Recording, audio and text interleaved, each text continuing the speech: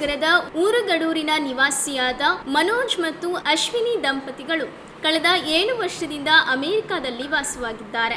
ಲೋಕಸಭಾ ಚುನಾವಣೆ ಹಿನ್ನೆಲೆಯಲ್ಲಿ ವಿದೇಶದಿಂದ ಲಕ್ಷಾಂತರ ರೂಪಾಯಿ ಖರ್ಚು ಮಾಡಿ ಮತದಾನ ಮಾಡಲು ಶಿವಮೊಗ್ಗಕ್ಕೆ ಆಗಮಿಸಿದ್ದಾರೆ. ಭಾರತದಲ್ಲಿ ಮತದಾನದ ಪ್ರಮಾಣ ಕಡಿಮೆ ಆಗುತ್ತಿರುವುದಕ್ಕೆ ಮನೋಜ್ ಅವರು ಬೇಸರ ವ್ಯಕ್ತಪಡಿಸಿದ್ದಾರೆ.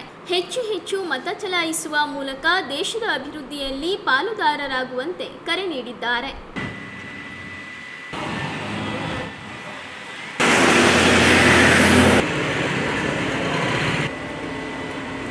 ಕೆಲಸ ಎಲ್ಲ ಬರುತ್ತೆ ಇದು ಬರುತ್ತೆ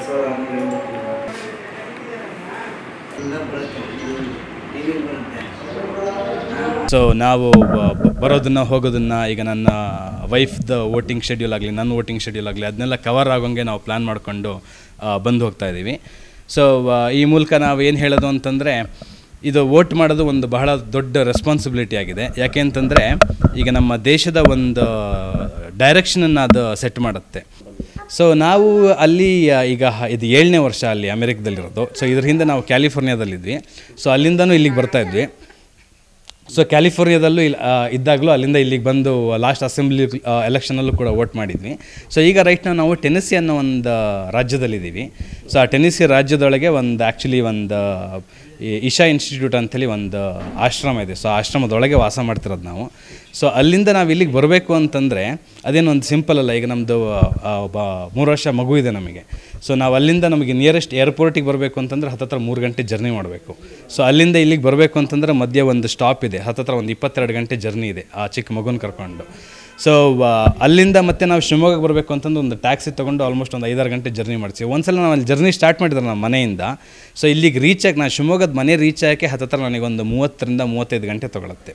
ಸೊ ಇಷ್ಟೆಲ್ಲ ಇಷ್ಟೆಲ್ಲ ಪೇಯ್ನ್ ಪ್ರೊಸೆಸ್ ಇದ್ದರೂ ನಾವು ಯಾಕೆ ಬರ್ತೀವಿ ಅಂತಂದರೆ ಇದೊಂದು ಗೆಸ್ಚರ್ ಆಗಿರಬೇಕು. ಯಾಕೆಂತಂದರೆ ಎಷ್ಟು ಇಂಪಾರ್ಟೆಂಟ್ ಈ ಪ್ರಾಸೆಸ್ಸು ಅನ್ನೋದು. ಸೊ ಈಗ ನಾನು ಮಾಡಿ ಅದರಿಂದ ಅಟ್ಲೀಸ್ಟ್ ಒಂದು ಇನ್ನೊಬ್ಬನಾದರೂ ಇನ್ಸ್ಪೈರ್ ಆಗಿ ಈಗ ಮಾಡದೇ ಇರೋನು ಮಾಡಿದರೆ ಸೊ ಅದರಿಂದ ನಮಗೆ ಎಷ್ಟೋ ಒಂದು ಖುಷಿ ಸಿಗುತ್ತೆ. ಇದು ವೋಟ್ ಮಾಡೋದು ನಮ್ಮ ಹಕ್ಕಲ್ವಾ? ನನಗೆ ಅದನ್ನು ಬಿಟ್ಕೊಡೋಕೆ ಇಷ್ಟ ಇರಲಿಲ್ಲ. ಈಗ ಒಂದು ನನ್ನ ನನ್ನ ಬ್ರದರ್ ಅವ್ರು ವೋಟಿಂಗ್ ಇದು ಅನೌನ್ಸ್ ಆದ ತಕ್ಷಣವೇ ಡೇಟ್ ಎಲ್ಲ ಹೀಗಿದೆ ಅಂತ ಕಳಿಸ್ಕೊಟ್ಟಿದ್ದ. ನೀವು ಬರೋದಾದರೆ ಈ ಟೈಮಿಗೆ ಪ್ಲ್ಯಾನ್ ಮಾಡಿ ಅಂತ. ನಮ್ಮದು ಅದೇ ಒಂದು ಡಿಸಿಷನ್ ಹಾಂ ಕಾನ್ಸೆಪ್ಟ್ ಆಗಿತ್ತು.